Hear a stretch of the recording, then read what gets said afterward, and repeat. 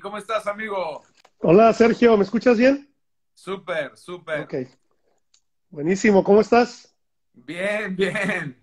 Te ¿Tú qué quitaste tal? como, te quitaste como 20 años de encima, mano. Eres súper joven sin la barba. Digo, eres joven, pero Imagínate. te ves más joven. Imagínate que creo que no lo he contado, pero me lo quité por la mascarilla, para que sea más cómodo.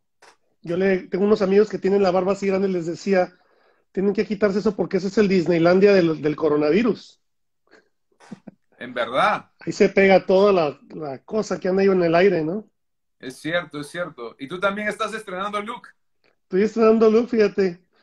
Eh, tenía rato que me quería hacer esta, esta onda, pero no me animaba y lo posponía. Y el otro día, sí, en un live, un amigo que, que me hizo el live, él tenía la barba así bien grande. Me dice que tenía como cinco años ya cultivando esa barba y, y me- no sé qué reto me dijo, algo me dijo ahí.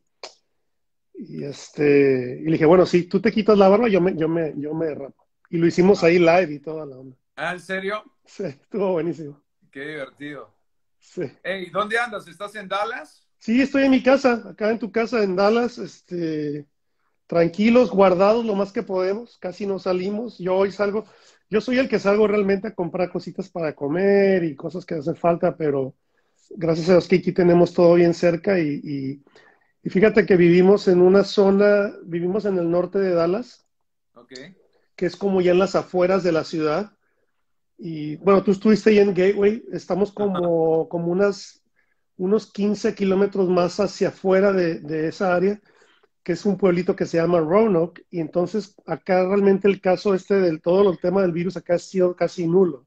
Creo que ha Oh, habido dos casos.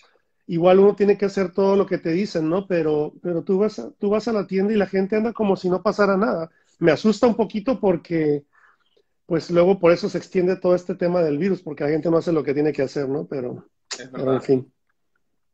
Bueno, Yo sí, yo, yo sí me pongo máscara y todo. Acá sí estamos bien, bien guardados. Estamos ya en la quinta semana de cuarentena Wow. total, obligatoria. Y nada, solo podemos salir para, para comprar alimentos y, medicinas si es una emergencia, pero, pero como tú dices, yo creo que es la manera de, de también parar el virus porque Sí, el virus se mueve con la gente, si la gente no se mueve, el virus tampoco, así que sí, exacto. bueno, estamos acá este, con el hashtag yo me quedo en casa. Wow. Oye, pero si salen, les controlan, cuando salen a la calle la policía los controla y todo el Sí, tema. claro.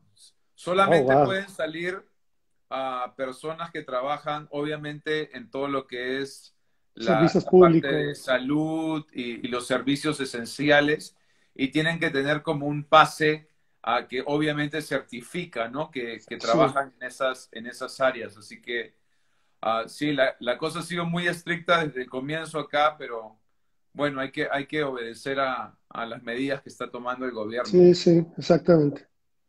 Así es. Cuéntanos, ¿cómo, cómo están pasando los zamoranos este tiempo? Pues mira, eh, bien dentro de todo, como te digo, estamos, o sea, es, es interesante y no minimizo a la gente que, que está guardada porque yo sé que este es un tema muy complicado, pero la realidad es que para mí, yo soy muy de mi casa, o sea, cuando yo, uno que viaja bastante o más o menos, cuando yo regreso de un viaje, yo estoy en mi casa en cuarentena por cuatro o cinco días, yo no salgo. Eh, Entonces no ha sido, no ha sido como que un ritmo diferente a lo que solemos hacer. Obviamente se ha extendido también y eh, donde, no más, donde más nos ha pegado quizás un poquito es porque tenemos muchos amigos acá, ¿no? Eh, Daniel Calvet y su familia viven aquí a 10 minutos de mi casa. Los de Miel San Marcos se vinieron a vivir hace el año pasado y viven también como a 15 minutos. Y entonces nuestros hijos son muy amigos. Qué chévere. Y eso ha sido como de sufrir un poquito porque sobre todo nuestros hijos se quieren ver y quieren, quieren, no sé, estar juntos y pues no, no hemos podido porque, pues por lo mismo, porque no queremos ser imprudentes, no, no queremos, eh, en nuestro caso, fíjate, por ejemplo, en, en, en, mi caso, mi familia, mi hija mayor, que es la que se casó en, el, en octubre del 2018, el año pasado, en septiembre, la diagnosticaron como diabética. Oh, wow. Sí, es, fue, algo, fue algo muy loco que pasó. O sea, ella, ella no, no tiene los, los típicos eh, como si se síntomas o, cosas que una persona tiene para ser diabética. Ella es joven, tiene, cuando le pasó eso tenía 22 años de edad. Eh, una chica saludable, pero ella pasó por unas cosas muy fuertes emocionales el año pasado y al parecer esta diabetes fue el diagnóstico fue que fue un tema emocional, ¿no? Oh, wow estrés, mucho estrés y todo esto. Entonces, eh, pues creemos que, Dios en su momento le, ella va a poder ser sana completamente de esto, pero con todo este tema del coronavirus y siendo que los diabéticos son, están en la categoría de alto riesgo, más nosotros nos hemos querido cuidar por ella porque, pues, fíjate que no nos vimos como por tres semanas, o sea, ella no vino a la casa, ella estaba guardada literalmente en su departamento con su esposo y ya después empezó a salir un poquito, que era venir a nuestra casa. Entonces, nosotros, por, por su salud y por cuidarla, ya hemos sido muy estrictos, ¿no? Por eso casi no nos hemos visto con nadie. Por eso te explicaba por qué no, nos vemos casi con nadie ahorita. Por, más que nada es por esa razón, por, por la salud de mi, de mi hija, ¿no?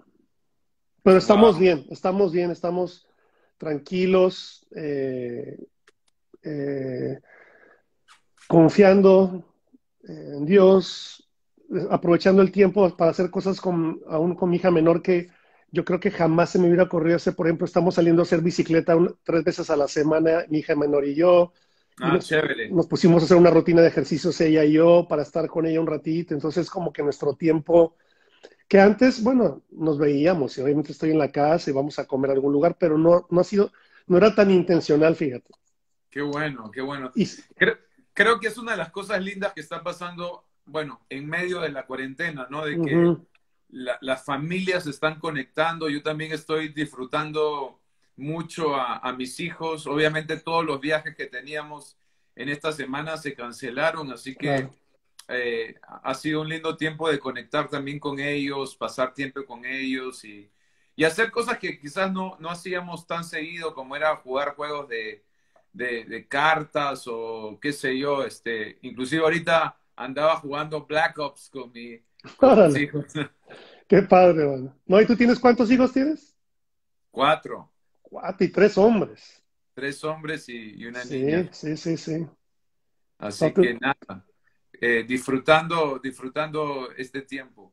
Exacto. Sí, igual te digo, estamos disfrutándolo y tratando de sacarle lo bueno a todo esto, ¿no? Porque fácilmente uno se puede ir por lo, por el por qué y por qué no puedo hacer esto, pero por otro lado, Justo ayer estábamos teniendo, esta es otra cosa que estamos haciendo, aunque la gente quizás se va a sorprender, pero estamos teniendo un devocional juntos más intencional. Y, ayer en el devocional en la noche estábamos, mi esposa, mi hija y yo, eh, hablábamos del agradecimiento, ¿no? Wow. Eh, y, de, y, de, y de, hablando del agradecimiento y tenía que ver con el agradecimiento y, y, fíjate, interesantemente, interesantemente, voy a nomás decir esto para que a lo mejor a alguien le sirve, pero decía, decía la pregunta en la devocional, ¿por qué el agradecimiento te acerca más a Dios? Entonces mm. salen preguntas y, nos ponemos a escribir ahí cosas, ¿no? Y, estuvo bien chévere porque mi hija comentaba algo, yo comentaba algo y, y, hasta le dije a Lorena, mi esposa, le dijo, oye, que, esa pregunta nunca la había pensado, ¿por qué el agradecimiento te acerca a Dios? Mm. Y entonces yo pensando dije, bueno, yo creo que para mí, por ejemplo, fue porque una persona agradecida tiene que ser una persona humilde, porque una persona egocéntrica, una persona egoísta, orgullosa, no le da gracias a nadie por nada. Totalmente. pero la, persona humilde reconoce las bendiciones o los beneficios que otra persona te da, dice gracias. Y dice la Biblia que Dios resiste al soberbio, pero, pero le gusta estar con los de humilde corazón, ¿no? Y, es, y dije, pues yo creo que por eso te puedes acercar a Dios cuando eres una persona agradecida, porque eso una persona agradecida es una persona humilde, una persona que, sabe decir gracias. Así que bueno, ha sido muy padre, ha sido muy, ha sido muy chévere estar así con familia, en familia, hasta, hasta tener estos tiempos y, ¿no? Súper bien. Cocinando mucho. de hecho que cuando, cuando mencionabas esto se me venía ese versículo que dice que debemos entrar en sus atrios, en su presencia, con, acciones de, de gracia. De gracias, ¿ya? Exactamente, eso, son, eso es y, fíjate, aún en este tiempo, yo le, yo le reto a la gente que está aquí, que nos está escuchando, que, busquen algo, eh, eh, a lo cual le puedan decir ellos, gracias Dios por esto. Puede ser muy mínimo, quizás para algunas personas dicen, híjole, es que me cuesta, pero te aseguro que debe de haber algo ahí que tú puedes decir gracias, ¿no? Gracias porque aunque no tengo todo lo que quisiera tener ahorita y no puedo hacer todo lo que quisiera hacer, eh, tengo, número uno, en mi caso digo, tenemos salud, eh, tenemos un techo, eh, no nos falta de comer, aún en esta crisis, Dios ha sido muy fiel proveyéndonos, así que hay muchas cosas que uno a veces pasa por desapercibido, ¿no? Es verdad, es verdad. Yo creo que en la vida puedes, puedes ir encontrando cosas por las cuales quejarte o puedes también encontrar cosas por las cuales darle gracias a Dios. Y yo creo que una de las cosas que me ha pasado en esta cuarentena, te cuento, es que he empezado a valorar, valorar cosas que quizás antes dabas por sentado o, o que quizás no valorabas, ¿no? Sí. Este, y, creo que ahí encuentras también cosas por las cuales puedes darle gracias a Dios, aún en medio de esta situación que yo sé que es muy difícil, no solo para ustedes, para nosotros, sino en todo el mundo, ¿no? Entonces, ah, me parece súper importante el, poder encontrar razones por las cuales podemos ser agradecidos. Correcto, estoy de acuerdo contigo. Oye, me encantó una campaña que vi que hiciste hace unos meses acerca de dedos que dan vida, creo que era el hashtag. Sí, sí, sí. Cuéntanos un poquito de qué se trataba. La tengo un poquito abandonada esa, pero realmente esa, esa onda salió porque fue todo un tema de mucha controversia con el tema de Netflix y aquella película que salió y, se dijo que cancelaran cuentas, que cancela tu cuenta de Netflix. Y fue todo un tema así muy controversial, ¿no? Unos lo cancelaron, otros no lo cancelamos. Eh, pero vi como que, bueno, eso, para mí fue como ya la cereza que, estaba arriba del pastel porque, eh, Sergio, tristemente, eh, me duele mucho decir esto, pero es verdad la familia, nuestra familia cristiana, nosotros como cristianos evangélicos nos atacamos muchísimo entre nosotros. Y, las redes sociales han sido como que el, arma más poderosa de mucha gente para venir a, criticar, a juzgar, a decir. Y yo ya estaba muy cansado de todo eso, la verdad. Yo en un par de ocasiones dije, yo no quiero meterme más en las redes sociales porque todo lo que uno dice siempre le encuentran lo, malo. Y yo, yo me, me, pasó una cosa muy fea hace como seis años, donde yo puse un comentario eh, después del Mundial de Fútbol de cuando ganó, cuando perdió Argentina contra Alemania y no, sabes lo que me pasó ahí. O sea, me amenazaron de muerte gente porque yo puse un comentario que no tenía nada que ver con, con el contexto de lo que esta gente entendió. Oh, wow. Y yo, yo iba para Argentina y me amenazaron de muerte porque supuestamente yo me estaba burlando de, los argentinos. Y bueno, fue un tema muy feo. Yo ahí dije, yo me salgo de las redes sociales, no más. Y a las semanas, una persona me, me animó mucho a que regresara porque me dijo, no, es que tú puedes usarlas para influenciar y bla, bla, bla. dije, ok, está bien. Pero entonces con todo este tema que pasó ahorita con lo de Netflix, otra vez estamos ahí diciendo y, el que no lo canceló es un pecador y el que sí lo canceló es no sé qué yo estaba así como, no puedo creer, no puedo creer cómo nos golpeamos tan feo entre nosotros. Y un día, yo no quería hacer comentarios de esto, pero, pero yo creo que Dios habló a mi corazón de, decir esto. Y, un día haciendo así un, yo prendí mi teléfono, empecé a hacer un live en mi teléfono y, empecé como que a dejar que mi corazón hablara un poquito, no mis emociones, sino mi, mi corazón. Y yo le decía a la gente, les decía, miren, eh, primera de Corintios 13 fue mi versículo que yo quise, el capítulo que yo quise usar, porque dice, si, si yo doy mi cuerpo para ser quemado y no tengo amor, ¿de qué me sirve? Si yo doy mis bienes y los reparto a todos los pobres, pero no tengo amor, ¿de qué me sirve? Si yo tuviera lenguas angelicales o si yo supiera todos los misterios, pero no tengo amor, de nada me sirve. Entonces yo agregué ahí, si yo cancelo mi cuenta de Netflix o no cancelo mi cuenta de Netflix, pero no tengo amor, de qué me sirve hacer lo que hice. Entonces, realmente el, corazón detrás de hashtag dedos que dan vida era decir, usa, usa las redes para dar vida, deja de estar criticando. Eh, ahora mucho de lo que decimos lo decimos a través de los dedos, ¿no? Porque estamos poniendo, texteando, mensajeando, comentando.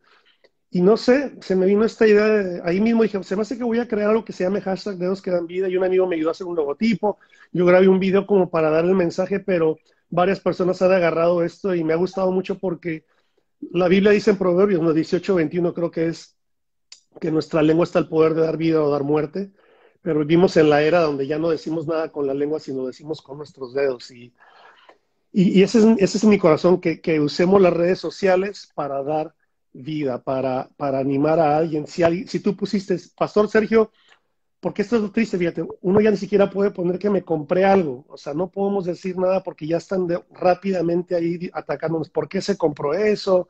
Una vez yo puse un logotipo de un carro que, que compré, que ni lo compré, fue un lease, ¿no? Un arrendamiento. Yo no quería poner nada porque no, es que me van a criticar, pero bueno, puse el, más como el logo, dije, bienvenido a la familia. Y la gente me empezó a criticar, que cómo es posible, si Jesús andaba en burro, y que Jesús, y tú sabes todo eso, ¿no? Yo les digo, oye, pero Jesús escogió el burro. Jesús dijo, vayan a tal casa y tráiganme el burrito aquel último modelo. O sea, quizás si hubiera, vivido, si hubiera vivido en nuestros tiempos, Jesús hubiera dicho, quiero este carro. No sé, estoy nada más aquí imaginándome cosas, pero anyway, em, de ahí viene el hashtag dedos que dan vida, de usar nuestras redes, de usar lo que ponemos en las redes sociales para, para, para celebrar a otros. Así, qué bueno que te compraste ese carro, qué bueno que estás de vacaciones, Dios te bendiga, que descanses. Creo, que, creo que falta mucho en la iglesia la cultura de la celebración de los éxitos y los logros y las victorias de, las demás personas, ¿no? Ah, se me viene ese versículo que dice que de la abundancia del corazón habla la boca, pero hoy podríamos decir de la abundancia del corazón e, escriben tus deditos o, o hablan tus redes sociales, ¿no? Exactamente, tienes toda la razón, sí. Eh, y, es, y eso, eso es lo que fíjate, el otro día yo me meto a ver a veces buscar videos porque me gusta mucho cocinar y me, estoy, me, meto a YouTube a buscar recetas ahorita que estamos, que tengo más tiempo aún.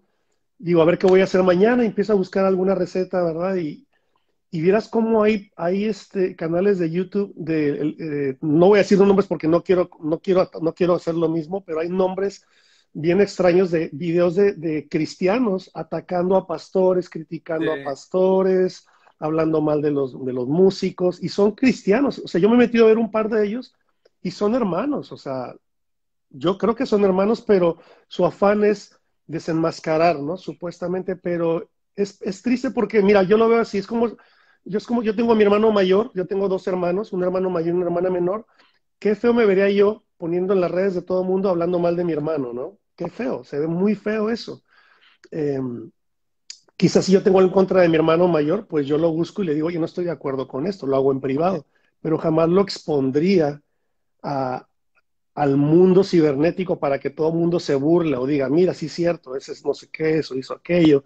Entonces, eh, Sí, definitivamente de, la abundancia de nuestro corazón ahora hablan nuestras redes sociales. Ese, es un buen hashtag.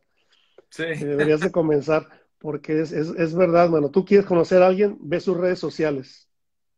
Te cuento, te cuento una. Nosotros desde la semana uno comenzamos a hacer ayuda social, pero nunca hemos ido de, de publicar la ayuda social porque es un tema sensible y nos comenzaron a criticar porque no estábamos supuestamente haciendo nada. Así que comenzamos a publicar la ayuda social y comencé a recibir críticas de que por qué publicaba lo que hacía. Sí, no, pero bueno, seguí publicándolo y, y, me comenzaron a decir, pero usted no sale en la publicación. Entonces salgo en la publicación y me dicen, pero pastor, usted es un eh, responsable que sale durante la cuarentena. Entonces finalmente me di cuenta que no hay forma de agradar a todo el mundo. Eh, eh, si lo pones, ¿por qué lo pones? Si no lo pones, ¿por qué no lo pones? Si sales, ¿por qué sales? Si no sales, ¿por qué no sales? Finalmente es imposible agradar a las personas. Al único que podemos decidir agradar es a Dios. Y, nada, eh, pienso que, lamentablemente estamos en, un mundo. ¿Y sabes cuál es lo triste? ¿Por qué lo decía, Coalo? Porque comparto lo que tú dices. La gente que nos atacaba no era gente del mundo, era gente de la iglesia. Claro. Eso es lo más triste y eso es, es una, yo escuché una vez una frase que decían, el, ejército, el único ejército que se, dispara entre ellos es el ejército de los cristianos. Y eso a mí me sacudió, porque, mm. porque yo amo, yo amo a mi familia, yo amo a, la iglesia. Estamos en una guerra civil. Es una guerra civil, exacto. O sea, los espirituales contra los carnales y, no sé cuántas cosas, pero, pero yo, yo una de las cosas que yo le he pedido al Señor y, y, y, yo tengo la meta, o sea, no, yo porto mi granito de arena, obviamente, yo no soy pastor de una iglesia todavía, pero, pero donde quiera que el Señor me da una plataforma, yo, yo lo, lo hablo mucho, esto de, de, de buscar la unidad, de, de qué manera podemos ser unidos y hacer a un lado todos estos temas que nos dividen y que nos hacen pelearnos, porque realmente son tonterías. es una palabra quizás para algunos fuerte, pero es una, es una tontería, es una estupidez. Nos, discutir, o sea, las cosas cuando nos podemos analizar de por qué este no está de acuerdo con este son tonterías. No es el fundamento, o sea, el hermano que critica este cree en Jesús, este también cree en Jesús, este cree que Jesús perdonó, eh, murió por nuestros pecados, él también, él cree que nos vamos a ir al cielo, él también, o sea, los fundamentos están ahí son porque, no, pues es que ahí en esa iglesia eh, la gente no se pone corbata. No, pues porque es que el pastor Sergio eh, no, no se pone saco cuando predica. O sea, son tonterías. Y yo he estado en iglesias, Sergio, donde, donde casi no me dejan subir por una vez porque no traía calcetines, traía unos, un pantalón de vestir, unos zapatos de vestir, pero no me puse calcetines porque era así como un look así medio moderno. Y casi no me dejan volver a subir porque no tenía calcetín. O sea, es, una cosa bien extraña, ¿no? Pero, pero bueno, yo, mi oración, fíjate, y, uno está hablando con un amigo que es un increíble tipo, eh, estudiado de la Biblia, y él decía, Jesús viene por una, por una novia sin mancha. Jesús viene por una iglesia no perfecta, pero sin mancha, una iglesia pura. Y yo creo que aún en, esto, en este momento, fíjate, hablando de la falta de unidad, el otro día escuché a un pastor de Italia decirme no sé si tú lo conoces, se llama Jerry, él tiene una, Jerry es un señor así alto. Sí, sí, sí. Sí lo conoces, claro. Él me estaba diciendo que pastores que nunca se habían hablado, se están hablando. Wow. Que, nunca se habían apoyado, se están apoyando porque esta situación de la cuarentena está haciendo a mucha gente salirse de su circulito y buscar ayuda, porque ese es el otro punto, ¿no? Que todo esto de la cuarentena ha agarrado muchas iglesias desprevenidas y y no estaban preparadas para esto, obviamente, y, entonces están teniendo que buscar a ellos, están teniendo que levantar el teléfono y decirle al pastor al que criticaban, oye, me echas la mano, ¿cómo le haces? Porque necesito ayuda. Y, eso es, yo creo que es una de las cosas que Dios está usando en este momento entre muchas iglesias y líderes, ¿no? En, fomentar la unidad, en, apoyarnos, en, cómo, cómo puedo yo bendecir a otro y, levantar a otros, etcétera. Pero me encantó lo que, lo que estabas diciendo porque es enfocarnos en lo que nos une y no en lo que nos divide. Sí. Porque unidad no es uniformidad. Correcto. Tenemos que aprender a vivir en, diversidad, ¿verdad? Sí. Eh, es imposible que pensemos igual, hablemos igual.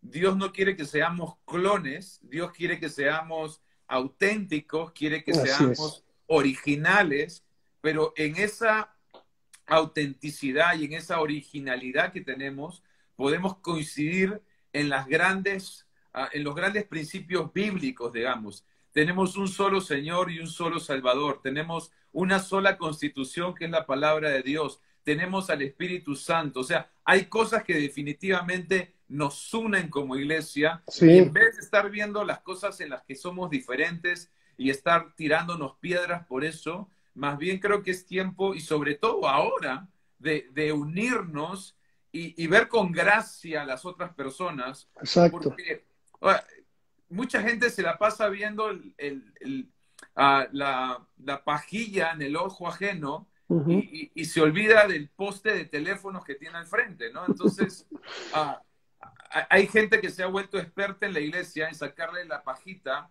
a, a otros y usa las redes sociales para hacer eso. Ya hay ministerios, ministerios internacionales que a eso, se dedican. Nada más están viendo a ver quién se equivocó aquí, quién dijo mal esto. Aún si tú, por ejemplo, en una predica dijiste algo que quizás no lo quisiste decir, editan el video para, que para poner, el pastor Sergio dijo esto, ¿cómo es posible que el apóstol Sergio de Agua Viva, entonces ponen esos dos segundos de tu predica, pero no ponen el contexto para, para para que te veas mal, ¿no? Fíjate que, bueno, no sé si estaba planeado entrar en este tema, pero, pero em, hay una cosa interesante acerca de la unidad que te quería comentar, porque dice en Hechos 2, cuando vino el, derramamiento del Espíritu Santo sobre, sobre los primeros cristianos, ¿no? ¿Te acuerdas que dice ahí que, que en el día de Pentecostés estaban todos unánimes juntos. Exacto. La palabra unánimes es la palabra clave ahí porque juntos, estaban en un, solo cuarto, o sea, y bien, como bien lo has dicho, la unidad no es estar todos en un solo cuarto. Puede haber mucha gente en un solo cuarto y no estar unidos. Tú estás en un cine y hay mucha gente, pero todo el mundo piensa diferente. No hay, estar en un solo lugar no es unidad. Si nos ponemos todos la misma camisa que diga Jesús te ama, eso no nos hace estar unidos, nos uniforma, como bien lo dijiste, ¿no? Eh, eso es uniformidad. Pero fíjate que la palabra unánime, en la, en la palabra original de la palabra, esa palabra unánime es, omatumadón, empieza con H y es omatumadón. Y esa palabra omatumadón tiene el contexto de armonía, que es un contexto musical. O sea, la palabra omatumadón es armonía, que es un contexto musical. Y, yo que soy músico, fíjate, por ejemplo, yo lo entendí rápido porque dije, ah, ok, por ejemplo, el acorde de Do, el acorde, no, no, la nota de Do, sino el acorde. Do es una nota, pero si haces un acorde que, se, se, forma de varias notas, el acorde de Do es Do, Mi y Sol. ¿ok?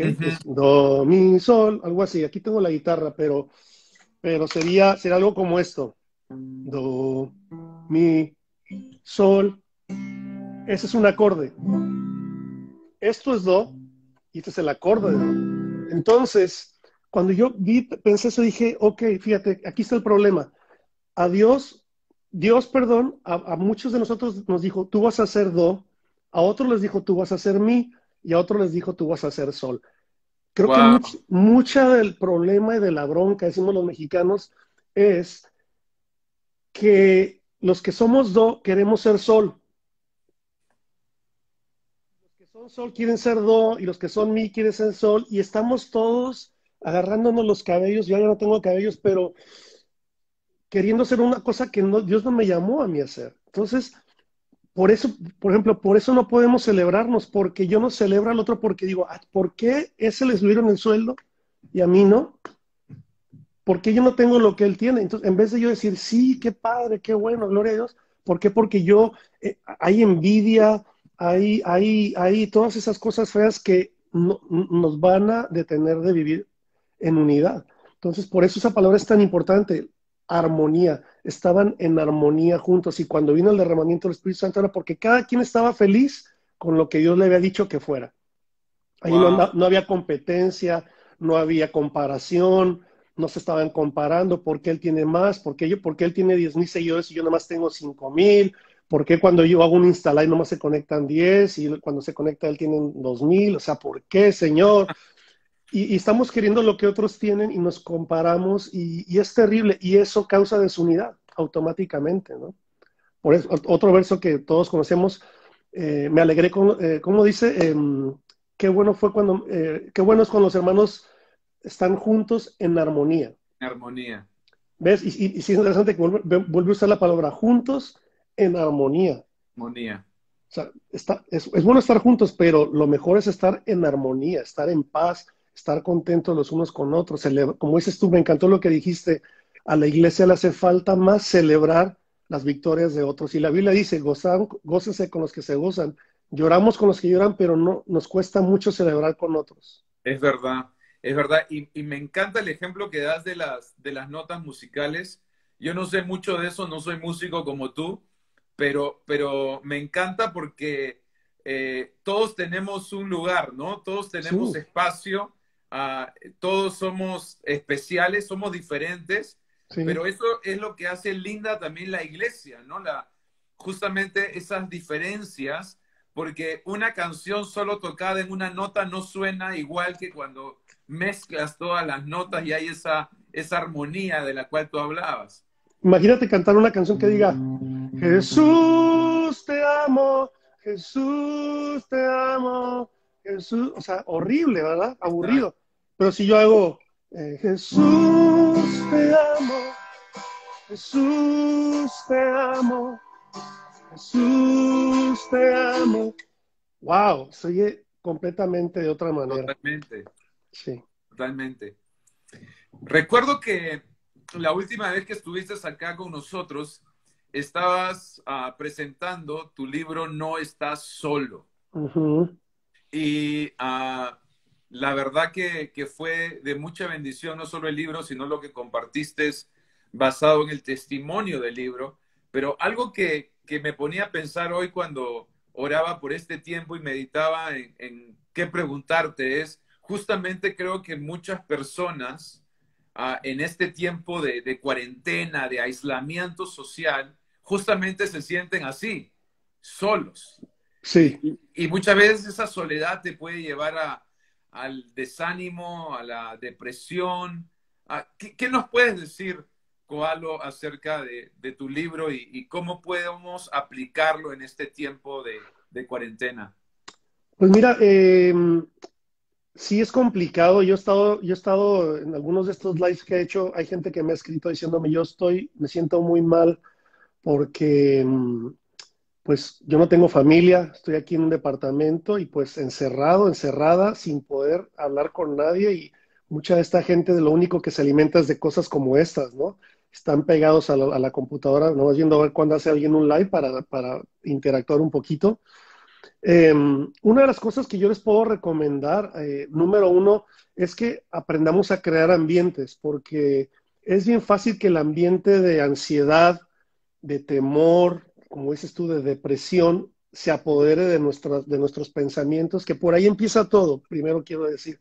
Todo empieza aquí en la mente. Eh, wow. yo, siempre, yo, siempre, lo digo que el enemigo, y, y es una verdad, el, el, enemigo de nuestra, de nuestra alma, él no puede ver lo que hay en nuestro corazón, pero él puede plantar cosas en nuestra mente. Wow. Es, el, es, el, parque de diversiones de, de, del diablo, es acá. Entonces, él, él, él planta semillitas, ¿ves?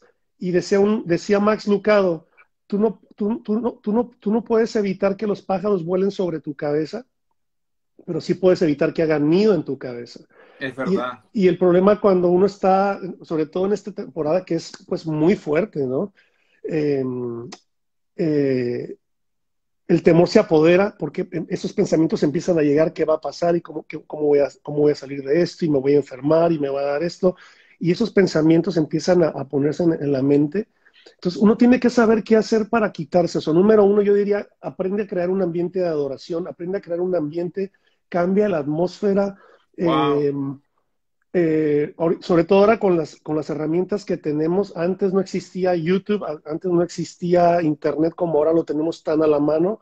Si te estás, si estás sintiendo ansioso, yo te diría inmediatamente pon música de adoración, pon algo que, que te saque de esa cajita de temor y eso es crear un ambiente, ¿no? Eso es, eso es cambiar el aire de tu, de tu entorno wow. y, y, la música que tiene un poder impresionante, o sea, ya de por sí la música tiene un poder muy fuerte sobre nuestras emociones y, y, y también sobre nuestra alma, nuestro espíritu, pero empiezan las emociones, ¿no? Una canción te puede hacer llorar, solamente con ciertas melodías te, te, te, se te enchina la piel y dices, uy, mira cómo me siento la piel por la música, los acordes. Ahora imagínate música donde Dios sopla a través de esa música, es un arma impresionante. Entonces, eh, yo me acuerdo cuando yo pasé por los ataques de pánico y ansiedad, que de, eso se trata este libro que yo escribí.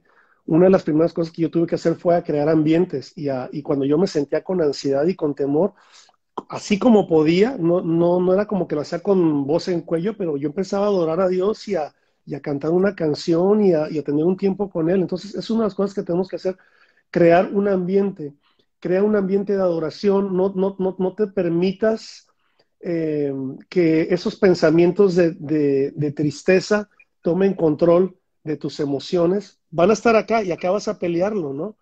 Eh, primera de Timoteo dice que Dios no nos dio un espíritu de temor, uh -huh. sino de poder, de amor pero la tercera cosa es bien importante. Yo me lo sabía de memoria ese verso, pero hasta que pasé por esto lo logré entender más. Dice, Ajá. y de dominio propio. propio. O sea, Dios nos ha dado la capacidad de dominarnos. Wow. De decir, hey, cálmate, ¿cuál? Cálmate, ¿por qué estás haciendo eso? ¿Por qué estás pensando eso? No, no, no, no, no. Yo, Dios no te dio a ti el espíritu de temor, te dio, te, te dio eh, amor, poder y dominio propio. Y es una de las armas que yo usé mucho cuando yo pasé por esta crisis tan fuerte, de hablarme a mí como lo hacía el salmista y decir, hey, alma mía, cálmate, alma mía, no te vayas por ahí, bendice al Señor. Eh, eh, piensa en las cosas buenas como hemos estado hablando, piensa, piensa en las cosas, dale gracias a Dios por algo, busca algo en lo que tienes que darle gracias a Dios, algo, que, algo que cambie tu manera de pensar acá, porque si dejas que ese pensamiento de temor, de tristeza, de ansiedad, se quede mucho tiempo acá, te va a afectar mucho más y, es, y cada vez agarra más raíz eso y cada vez se mete más, se mete más, se mete más y después es más complicado y más tardado salir de eso, ¿no? Pero eso es lo que yo diría, cambien su ambiente, transformen su ambiente, creen un ambiente de adoración, un ambiente de paz, eh, háblenle a su alma, mantengan su cuerpo activo, aunque se oye muy sencillo, muy tonto, pero la realidad es que a veces estamos deprimidos, estamos tristes en esta ansiedad, estamos tirados en el sillón viendo las noticias, ¿verdad? Y, y todas las noticias son feas, todo eso es malo, y, y, los números y la curva sigue para arriba, y cuándo va a bajar la bendita curva, y estamos ahí, ya, ya nos extendieron dos semanas más y estamos ahí, ¿verdad? Tres horas viendo las noticias, ya están diciendo lo mismo y uno sigue ahí. Entonces, ¿qué está pasando? Ya creaste un ambiente de miedo, de, de, de, cosas feas. Entonces, yo les diría, apaguen la tele. Yo les recomendaría esto. Ve las noticias en la mañana, que es lo que yo hago. Yo tengo mi tiempo con el Señor y luego veo las noticias. Quiero saber qué está pasando en los lugares oficiales, ¿no? Claro. No, no voy a ver las noticias que pone la hermana Lupita con sus reportajes. de no sé quién, que si no, que mira que el coronavirus eh, también se mete por las orejas, o sea, hay tantas cosas tan horribles que es pura mentira. Eh, hay gente que le gusta meter miedo, ¿eh? O sea, hay gente en las redes que les encanta darte malas noticias y hacerlo las cosas mil veces más feas de lo que son. Entonces, yo lo que hago, me meto a los, a los, a las canales oficiales, ah, ok, los números, y ya están pasando cosas buenas, por cierto, ¿no? Y ya, no lo veo más, no, no veo más noticias, me pongo a hacer lo que tengo que hacer. Estamos haciendo ejercicio, entonces yo le diría a alguien, si estás sintiendo así, ponte a hacer lagartijas, sal, eh, búscate una rutina en el internet de ejercicio, haz algo que te corra la sangre, que, que se te mueva la sangre, porque aún eso, fíjate, está químicamente comprobado, físicamente comprobado que te mejora tu ánimo cuando haces ejercicio, las endorfinas se activan. Es verdad. y te sientes mejor. Sabes, yo, yo quiero sumar a lo que tú estás diciendo, porque cuando compartiste con nosotros este mensaje, nunca me voy a olvidar cómo terminaste, y yo creo que esto puede inspirar a alguien esta noche. Terminaste en el piano diciendo, les quiero decir dos cosas. Ah, no temas porque no estás solo. y dijiste, eso tiene dos implicancias no estás solo porque muchas personas también están pasando por lo que tú estás pasando. Y es la verdad, muchas veces pensamos, nosotros somos los únicos mm. que tenemos estos pensamientos. Nosotros somos los únicos que tenemos ansiedad. Nosotros somos los únicos que nos preocupamos por el coronavirus y por la pandemia. Y ese pensamiento muchas veces nos termina agobiando, desanimando y deprimiendo. Pero la verdad es que tú no eres el único. Tú que nos escuchas o que vas a escuchar este video más adelante, tú no eres el único. Yo he pasado por momentos difíciles y nuestro amigo Coalo también.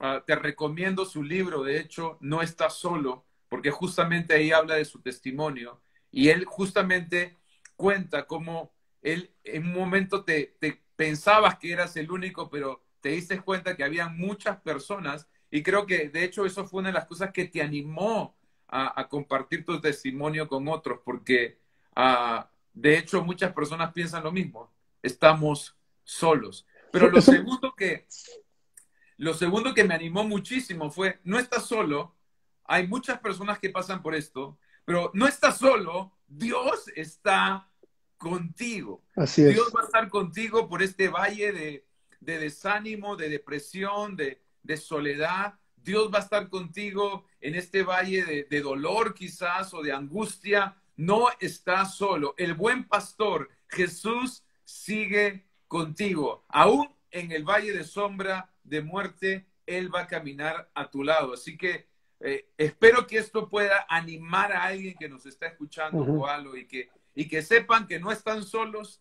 Hay otras personas que viven lo mismo, pero sobre todo que no están solos. Sí, y fíjate, quiero, quiero, bueno, y también quiero agregar esta cosa más, em, porque algo, algo, que, algo que, que yo he escuchado mucho y a mí me pasó, porque fíjate, cuando a mí me pasó todo este tema de la ansiedad y del temor, yo me sentí tan mal, o sea, me, me dio como vergüenza, porque yo ya tenía, no sé, más de veintitantos años de conocer al Señor cuando me pasó eso, y cuando me empezó a dar miedo y todo este, todo este tema de temor, de ansiedad, de ataques de pánico, me dio vergüenza y me sentí, y no quería decírselo a nadie y por eso no lo hablé.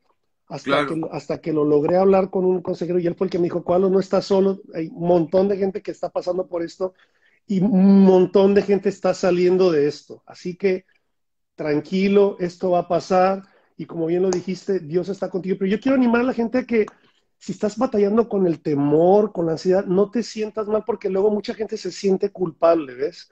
Se siente condenada, se siente que le falló a Dios porque no es el cristiano fuerte que tiene fe y que todo el tiempo está, Cristo está conmigo porque bla, bla, bla, bla, bla.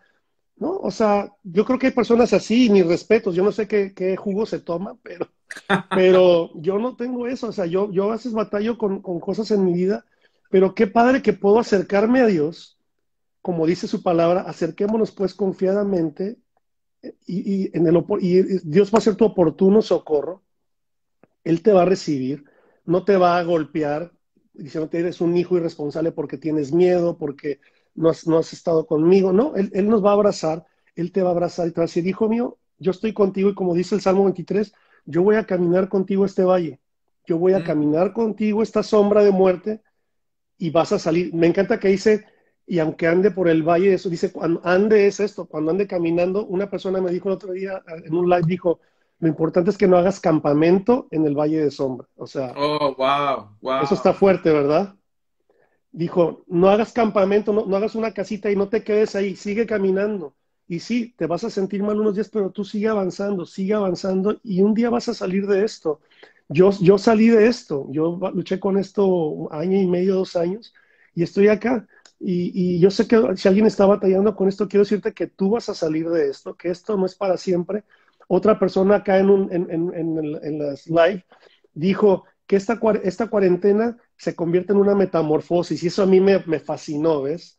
O sea, que en esta cuarentena se convierte en una metamorfosis. Es decir, que si estás teniendo temor ahora mismo, es más, dile, Señor, gracias porque tengo temor, porque esto me va a enseñar a mí, a, cuando vuelva a suceder, ya no tener temor y saber cómo desarmar estos pensamientos que me están llegando, porque yo le doy, honestamente, Sergio, yo le doy gracias a Dios ahora, años después, obviamente.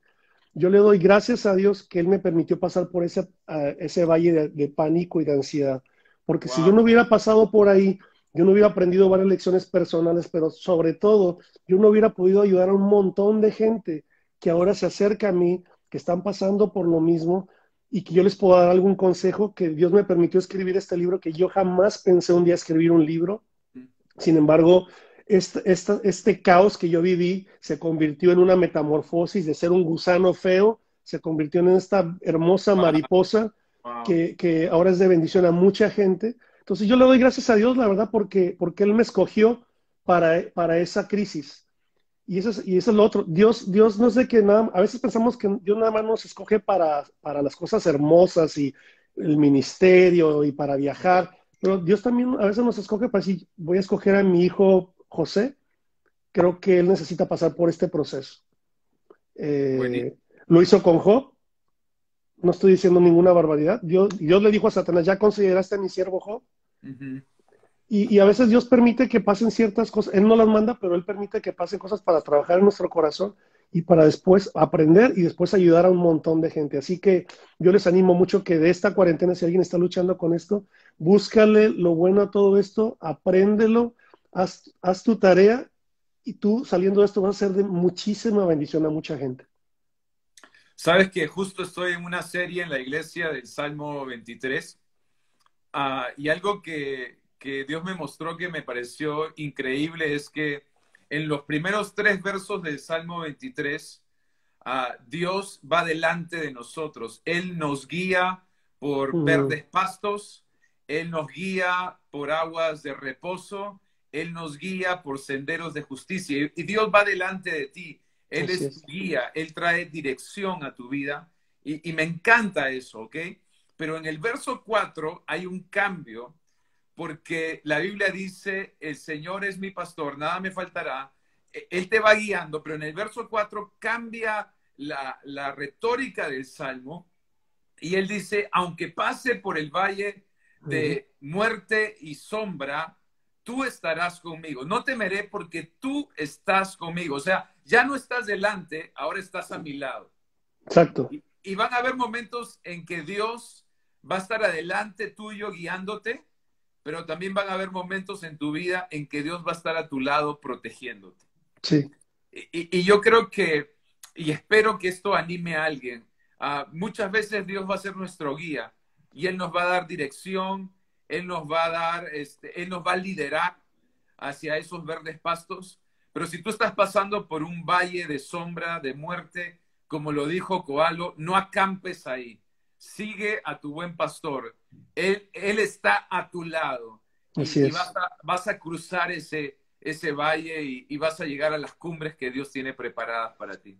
Fíjate, hablando de ese salmo, eh, hicimos un viaje a Israel. Bueno, nos vimos por allá, uno de esos viajes me acuerdo que nos encontramos ahí sí, en un sí, hotel, ¿te recuerdas? Y eh, me ministró mucho esto que nos dijo esta señora cuando fuimos a, fuimos a Belén, a, ahí donde están los pastores y donde estaban los pastores, donde todo eso, donde nació Jesús y todo esto, ¿no? Bueno, la zona donde nació Jesús, unas cuevas que hay, y nos empezó a explicar esta señora de, de lo que hacen los pastores.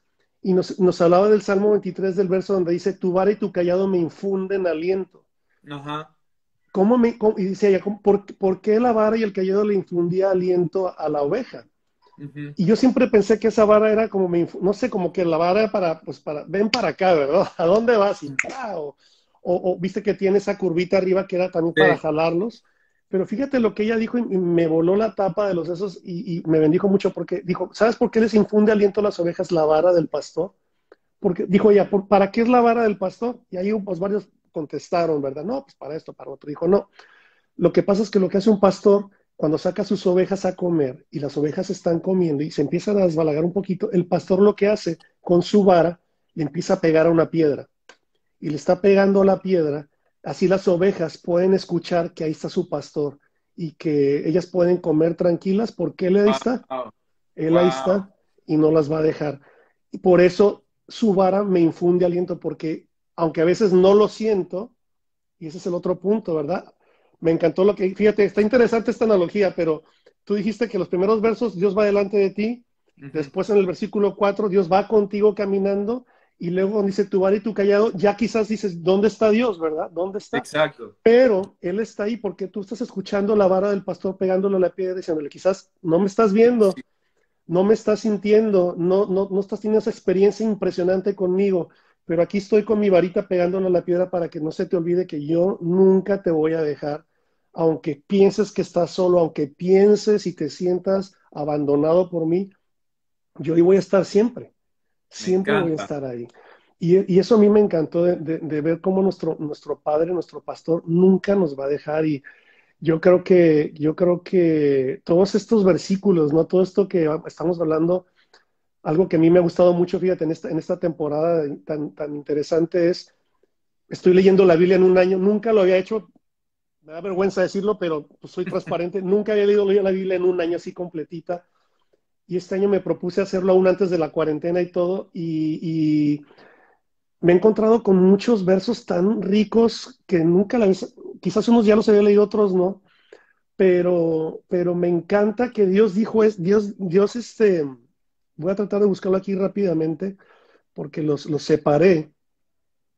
Dios no quiere que nos olvidemos de, de, de lo que de lo que Él ha hecho en nuestras vidas. Y, y, yo nada más quiero recordarle a, a, los, a, las personas que nos están escuchando acá que no, se les, no lo encuentro, fíjate, es que estoy tratando de buscar aquí un texto donde se lo mandé a un amigo y, y no, no, no, no, está cargando, pero, pero Dios constantemente le decía al pueblo de Israel, no se les olvide que yo soy quien los sacó de Egipto, no se les olvide que yo soy el que con un gran despliegue de fuerza y de poder yo los saqué. Dios uh -huh. te va a sacar Dios te va a sacar de esta cuarentena se va a acabar. El virus, el, el virus, ya, ya están codificando todo para traer una solución. La solución viene, eso, eso, eso, es, eso es así. Inminente. Inminente, exacto, esa es la palabra. Es inminente que esto va, esto va a regresar otra vez a, a su normalidad. Pero aquí donde yo no quiero fallar es que no se me olvide que cuando yo esté bien otra vez y, todo esté corriendo sobre ruedas, que no se me olvide que el que me sostuvo fue mi pastor, que me encantó lo que dijiste, que me, yo, que me llevó por pastos, de, por pastos delicados, que me llevó por esas aguas de reposo, de descanso, que caminó conmigo durante ese valle de sombra y que cuando no lo sentí, él estaba ahí pegándole a la piedra para recordarme que él estaba conmigo. Que no se nos olvide eso, porque es fácil que se nos olvide. Es verdad. uno se vuelve a activar y empieza a estar ocupado, ocupado. Ahorita tenemos el tiempo, pero cuando nos ocupemos otra vez se nos, se nos puede olvidar fácilmente, pero Dios no quiere que se nos olvide. Buenísimo, buenísimo. Coalo, tienes ahí tu guitarra y sí. te provoca demasiado que puedas terminar ministrándonos. Claro que sí. Quiero, quiero cantar esta canción que em, la escribí ese tiempo, pero es una oración, realmente es una oración. quizás la gente no se va a saber esta canción, pero yo quisiera pedirle a la gente que nos está escuchando o viendo por acá que si pudieran cerrar sus ojos, quizás ya no escribir ningún comentario ni nada, pero que cerraran sus ojos y que hiciéramos esta oración cantada, ¿no? Es una oración cantada, diciéndole al Señor, Señor, haz tu obra en mí, ¿qué tengo yo que cambiar en este tiempo? Haz tu obra, lo que tú quieras hacer en este tiempo en mi vida, Señor, haz tu obra en mi corazón, cambia las cosas que tengas que cambiar. Eh, Elimina las cosas que tengas que eliminar de mi vida, Señor. Amén. Sana lo que tengas que sanar. Ayúdame para que cuando termine todo esto yo salga mejor que como empecé este proceso. En el nombre de Jesús. Y esta es la oración. Haz tu obra en mí. Haz tu mm. obra en mí. Estoy dispuesto a que me cambies. Ven y sana todo en mí. Te anhelo más que nunca. Ven Espíritu, haz tu obra en mí. Soy imperfecto, no tengo fuerzas, necesito más de ti. Señor. Me siento débil, me encuentro frágil. Ven y sopla sobre mí. Sin ti no existiría, sin ti jamás podría. Haz tu obra en mí haz tu obra en mí. Gracias, Jesús. Estoy dispuesto a que me cambies. Ven y sana todo en mí. Te anhelo más que nunca. Ven Espíritu y haz tu obra en mí. Gracias, Señor. Ven Espíritu y haz tu obra en mí. Wow. Wow, wow. Increíble, increíble. Siento, siento ponerme de acuerdo contigo y, y creer y orar porque siento que hay personas que literalmente necesitaban escuchar esta, esta canción y oramos para que el que estaba débil hoy cobre fuerzas, oramos para que el que estaba herido hoy sea sanado, Oramos para que las personas que estaban pasando por soledad sientan el amor, la gracia de Dios, cómo los abraza, cómo, cómo los cubre. A las personas que estaban pasando por, por desánimo, hoy justamente cobren ánimo. Aquellos que se estaban hundiendo en la tormenta, hoy sientan la paz de Dios que sobrepasa todo entendimiento aquellos que, estaban pasando por ese valle de sombra, de muerte, sientan que su pastor no los ha dejado, no los ha desamparado. Eh, eh, el, puedes, quizás no lo puedes ver o sentir, pero puedes escuchar ese, esa vara de tu pastor que te infunde aliento. Y si, y si alguien estaba perdiendo la fe, eh, yo oro para que a pesar de que está siendo zarandeado como el trigo, tu fe no falte en este tiempo. Tu, tu, fe no falte en este tiempo. Cobra ánimo, amigo. Esto va a terminar, pero tu historia va a continuar en el nombre de Jesús. En el nombre de Jesús. Amén. muchísimas gracias, amigo. No, gracias a ti de veras por... Me emocioné, casi tiro la, la cámara. Gracias a ti por la invitación y, un, honor es siempre compartir contigo y tu hermosa iglesia. Eh, les mando un saludo a todos los hermanos que están acá de Agua Viva. Eh, nada, eh, que el Señor les siga fortaleciendo, les siga animando, soplando vida sobre sus corazones. Como oraste de una manera tan, tan, tan bonita, tu historia va a continuar. Eso me encantó. Esto va a acabar, pero nuestra historia continúa. Amén, amén. Hey, Coalo, un saludo también para la familia y una vez más, muchísimas gracias por hacer un espacio en tu agenda. Lo valoro muchísimo, amigo. Un fuerte abrazo. Gracias, Sergio. Abrazo, ¿eh? Saludos a la familia. Bendiciones. Bendiciones.